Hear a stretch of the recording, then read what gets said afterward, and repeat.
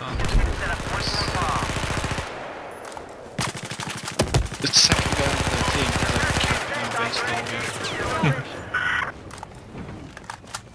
Is he in Tamworth? I'm just stuck in the bushes.